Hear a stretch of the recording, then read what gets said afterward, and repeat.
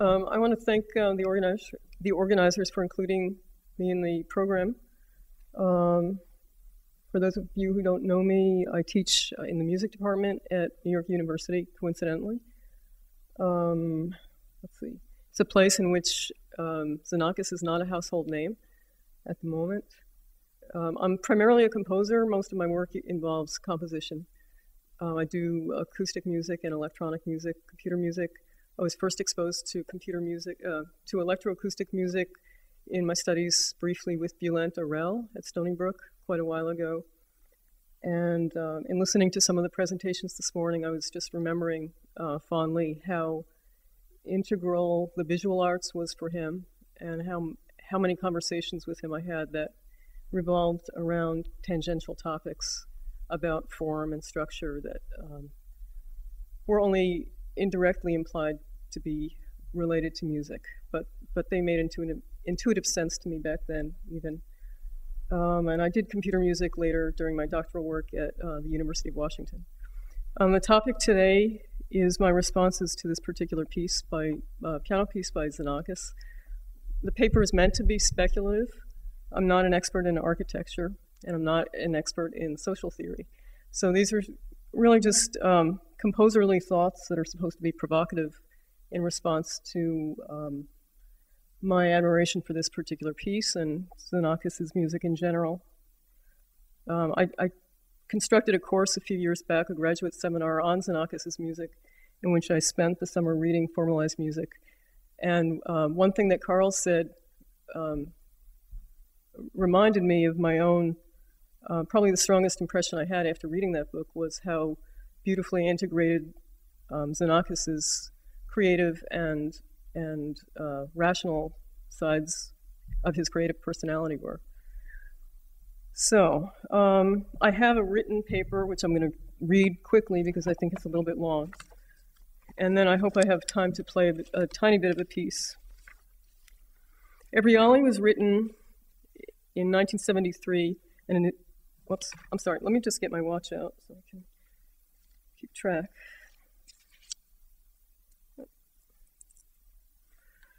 Evryali was written in 1973 and is Xenakis' second piano work. My paper on this piece is a conjecture about the significance for Xenakis of the graphic score itself. There are two unusual aspects of Evryali's notation that motivate my paper. The first quirk of Evryali to which I've reacted is this. The score is not purely prescriptive. There are far too many instances of impossible to play synchronicities. Here's just one small example out of context um, how do I do this? Um, what I've created here was uh, is a diagram that shows just randomly a, a, measure that I selected from midway through through the piece. These are this is a representation of eight successive 16th note synchronicities. Uh, so it's it's one measure's worth. One, two, three, four, five, six, seven, eight. And this is where your fingers would have to be on the keyboard if you were to reach all these notes. The only two uh, 16th note moments that are actually playable are these two in green. and this is that particular measure in musical notation, which doesn't reveal how impossible it is. Um, the second quirk is that in large chunks of the piece, the number of staves, sorry, the number of staves used, yikes,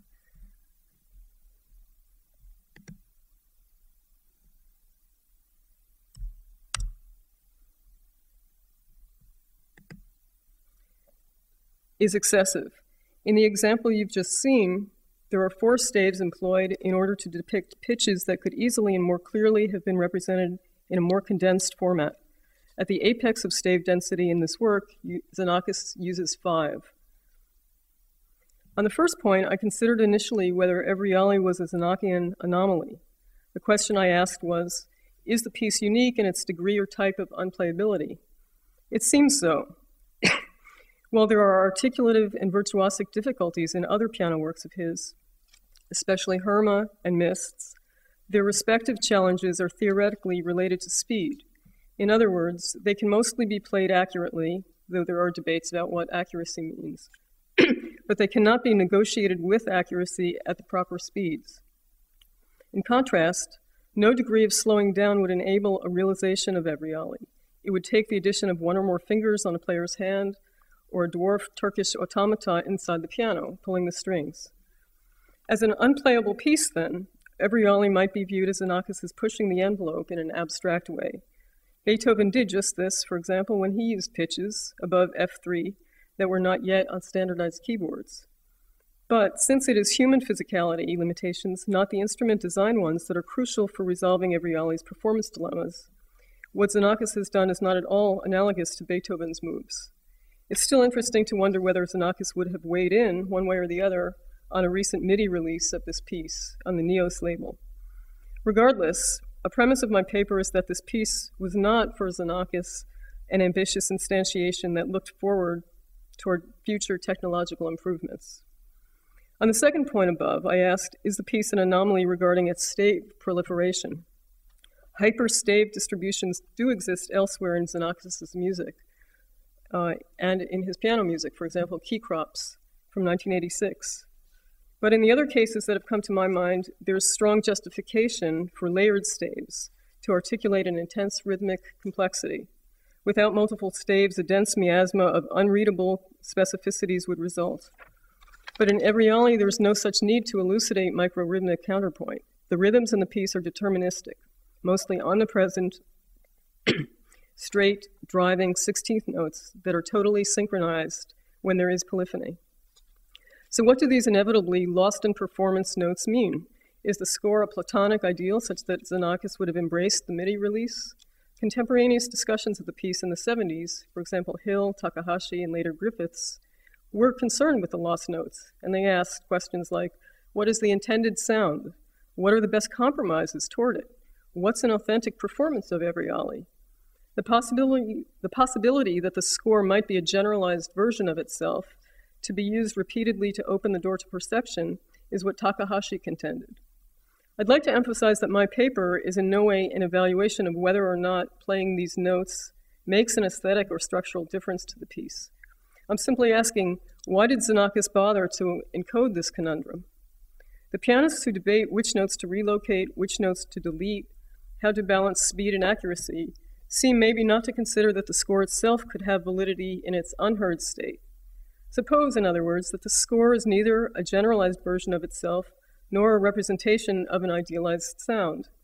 In focusing on ontological aspects of the work that precede this, I'll simply ask what role the score itself might play if it's artificially isolated from the score to performance chain, that is, if it's simply read as an end in itself. I'm wondering aloud, therefore, to what extent is this composition partly music to see? Could it be music for us to inhabit in its spatial depiction and realization on the page?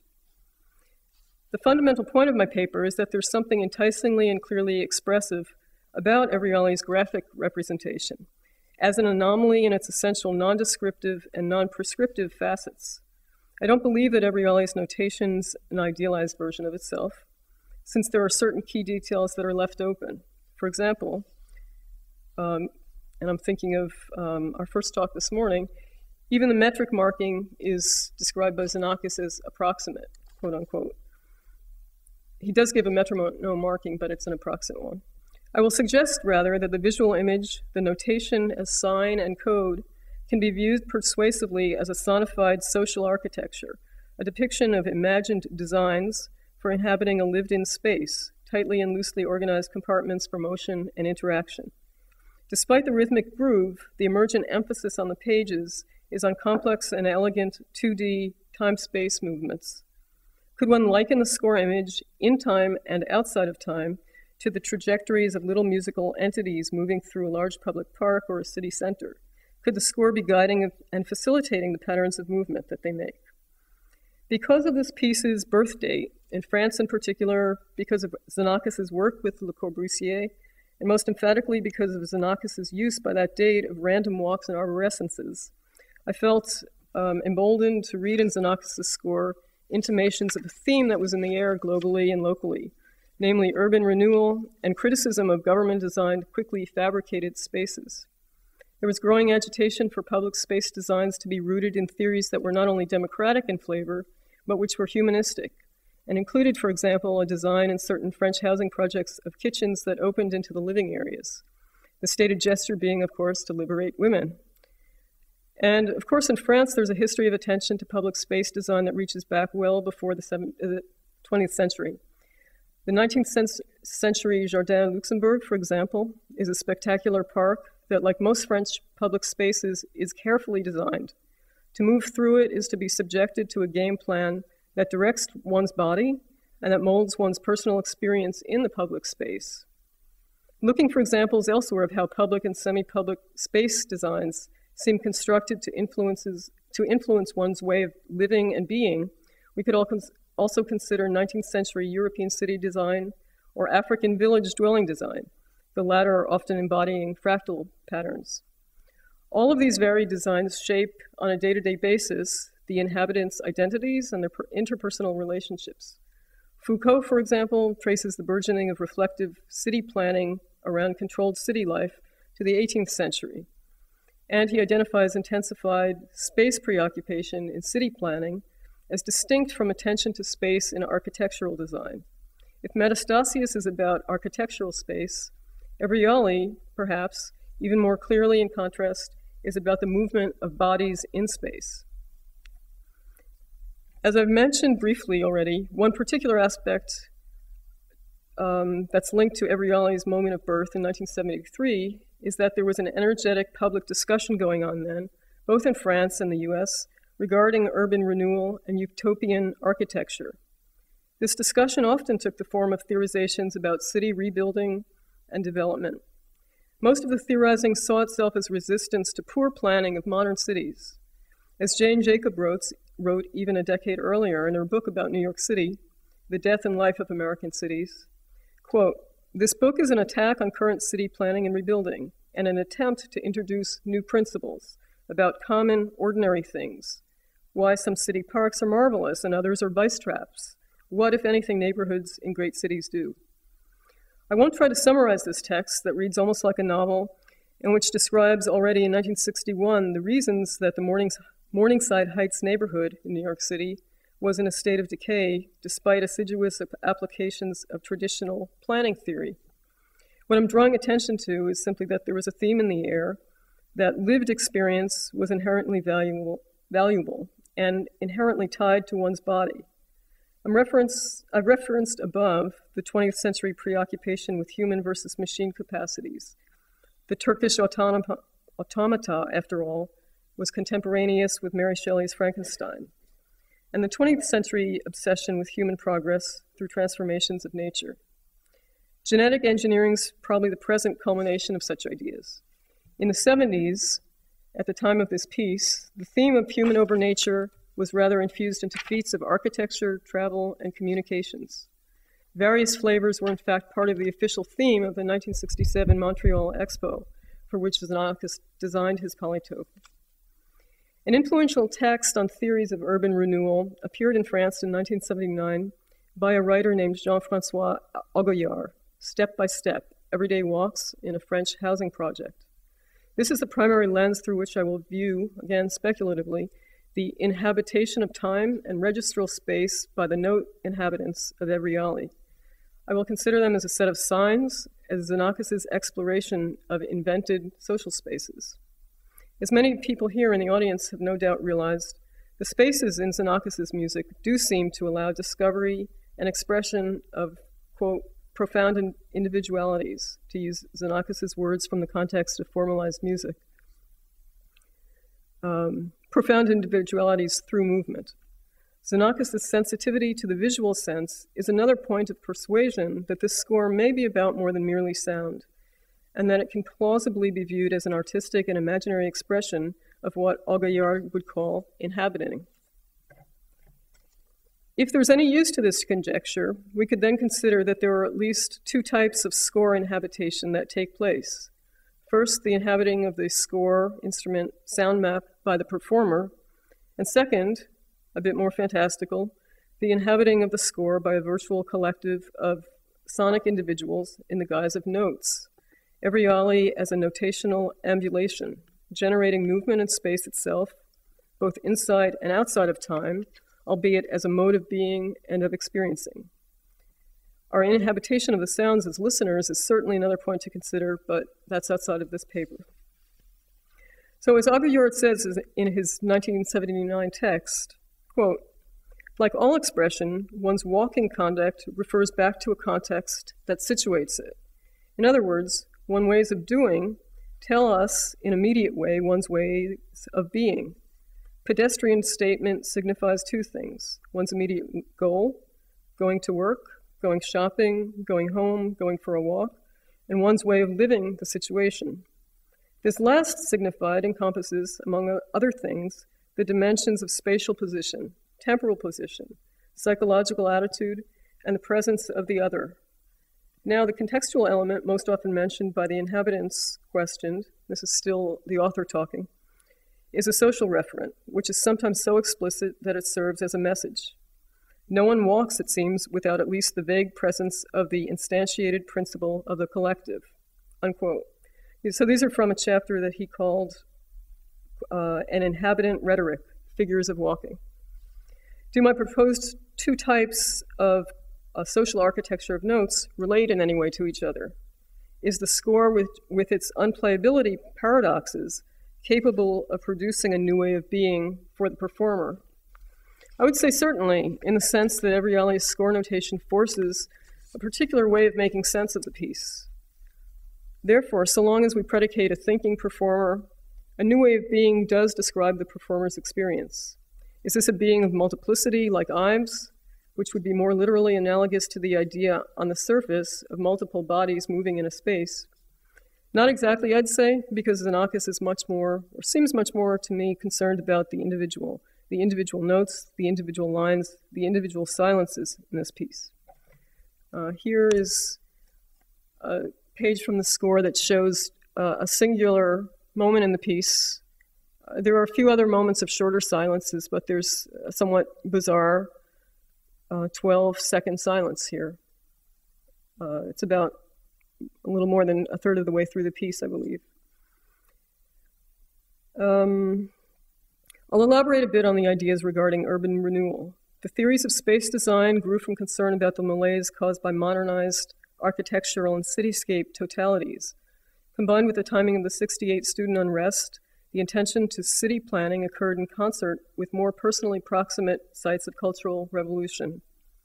Both musical repertoires and listening practices were being overturned. For example, new sorts of space and habitations included sitting on the floor, sitting close to the performer, these were common. For Xenakis, who sometimes eased in com- into composing by swinging on a rope in his Paris atelier, such ideas would, in theory, seem to have been within his grasp. Our ways of structuring our bodies, whether guided through architecture, through music performance, through city design, or through iconic representations of these structurings, is, according to Augoyard, tied to an analytic deciphering of a phantasmatic space, but this is expressed adequately only if the inhabitation is active. Returning to the theme of the individual and society, then, it is this concept that for me is activated by the multiple staves situation in Evryali. The city designs of the 60s were redolent of ideas of constructed utopias, and whether these utopias were those of Frank Lloyd Wright or Le Corbusier or Xenakis, they were all in some way, primary way, tied to the movements of lived and self-determining bodies.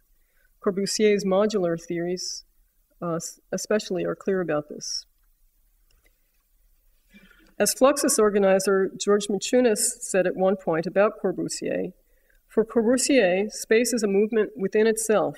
It's never at a standstill, just as sea is never without a wave. Space is a dynamic force that defines us. Maciunas hopes for quote unquote, uh, quote, utopias containing more breadth than repressive architecture of bureaucracy and luxury. Um, such architecture imposes restrictions on people, causing everything to be forbidden touching, spitting, smoking, thinking, living. Use your imagination and share the property, he said. I'd like to now offer a few applied examples that are suggestive readings of Xenakis' piece that apply, way, that apply ways of what I'll call social architecture to particular page notations. What are the ways of being that the musical-like entities of the musical-like musical note-like entities that slide along the staves of Evryali. Just as human figures in Augoyard's text do not move randomly, neither do the bulk of the figures in Evryali. Uh, first, I'd like to show you a computer animation that I created of um, that point out why counterpoint would be so so uh, sort of anachronistically ineffective in terms of describing the mov movement of the individual lines.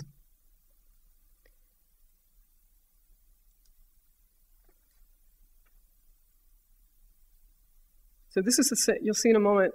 Um,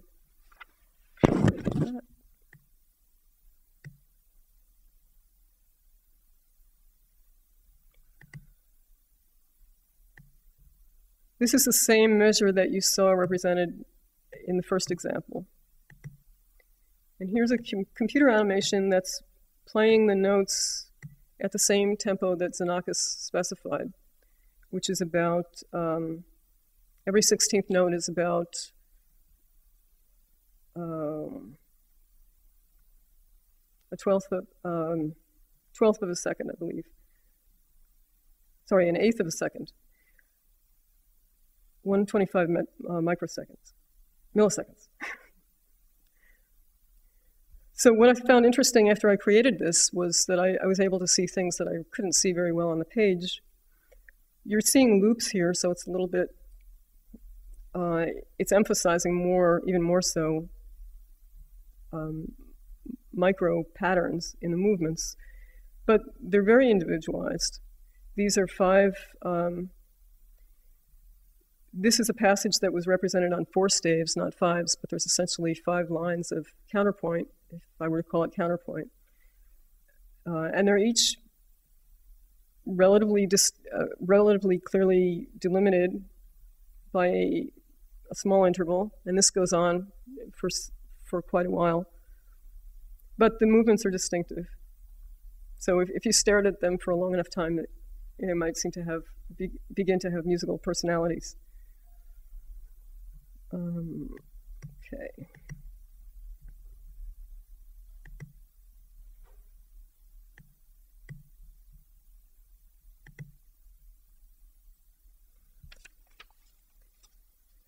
Um, Augoyard use, uses a whole set of, um, of complex terms to describe categories of movement through urban space. They range from things like exclusion, staggered polysemy, combinatory figures, redundancy, symmetry, dissymmetry, synecdoche, which, in which a part stands for the whole. And then he also talks about orders of inhabiting, which are three abstraction, hom homogenization, and binary division. And I simply took two and um, thought about whether they would be provocative ways to talk about moments in the piece.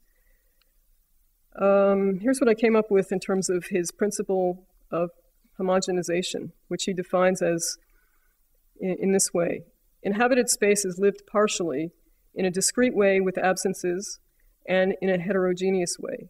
The representation of the globality of this space is imaginary in nature.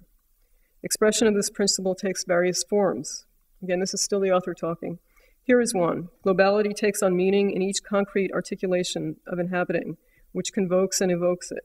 The part has meaning only in relation to the totality that grounds it. Um, what could this mean even regarding architecture? I'll suggest an example drawn from the Jacobs text, 1961 text. Quote, a city sidewalk by, not, by itself is nothing. It's an abstraction.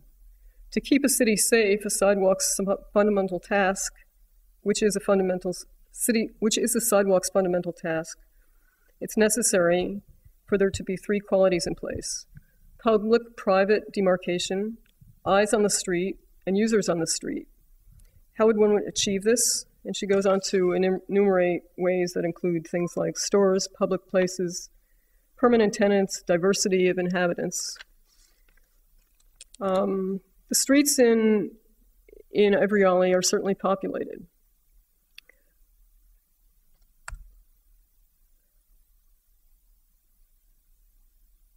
Uh, let's see here.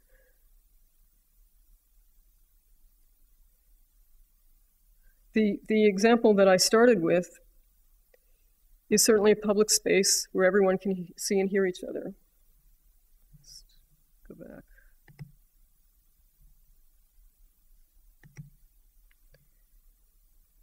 Where did these notes come from? What draws them to the space? Stave 2 from the bottom comes from the public space of measures 1 to 3 of the piece. Stave 1 comes from um, hidden embedded B C sharps that have a very different behavior here than, than the first two pages of the piece.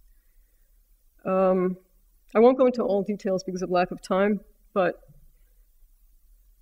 uh, I left out the all-encompassing quadruple forte here, but even that certainly speaks to to um, a gesture that draws all of these all of these um, pitches, note events into the same world.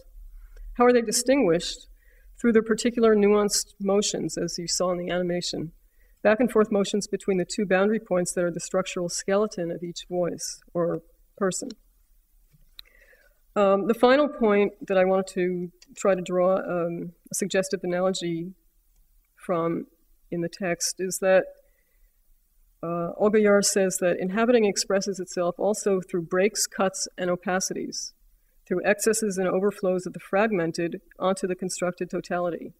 In deforming the totality, it gives out um, a movement of configuration involving themes of transparency, fusion, and the opening of sights. Again, I'll turn to an example from, from the Jacobs text. Streets provide us, uh, provide the principal visual scenes in our cities. Too many of them present us with a confusing contradiction.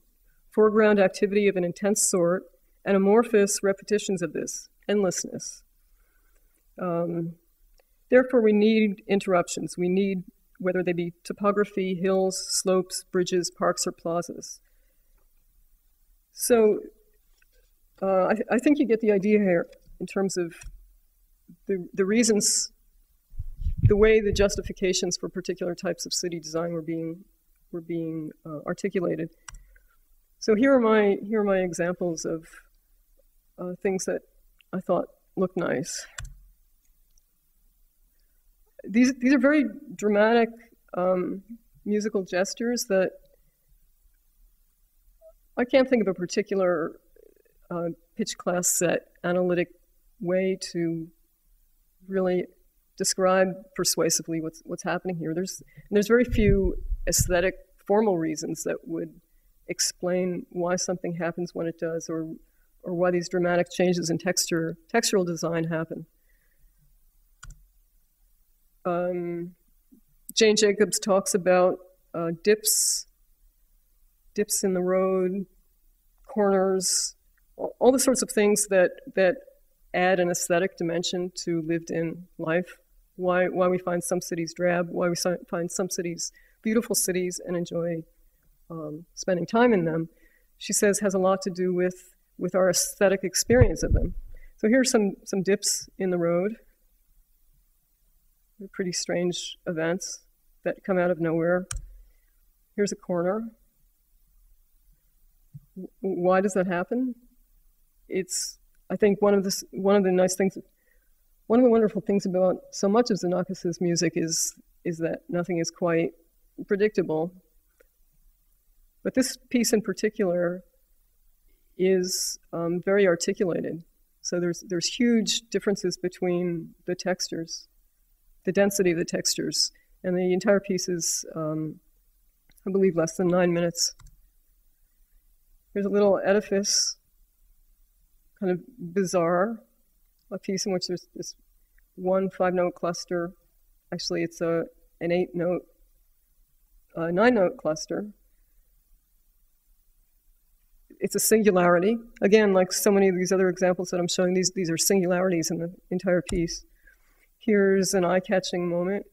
Again, these are also unplayable, these huge swaths of completely filled in notes.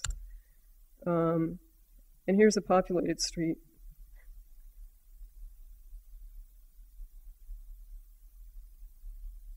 Again, so, so much of this is unplayable. Um,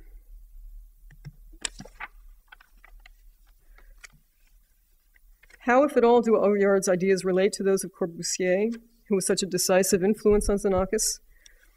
There are significant methodological differences that are interesting. Auguiard conveys skepticism in his book about the static architectural thought of Corbusier, as expressed in the latter's Modulor, which had erected postures, not gaits, into paradigms for an inhabitant's lived experience of everyday comings and goings.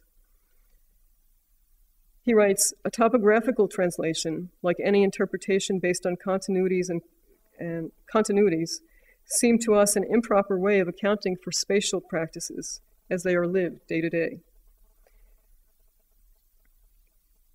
Again, according to David Curtis, who translated the text um, a few years ago, quote, it's the movement itself, not the positions taken up in succession, that according to my reading are most significant.